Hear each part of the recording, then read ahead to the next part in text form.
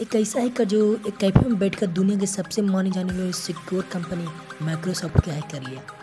hacker अपने समय में होमलेस हैकर के नाम से जाना जाता था इसने 2002 से 2004 के बीच बहुत सारी कंपनियों को हैक कर लिया था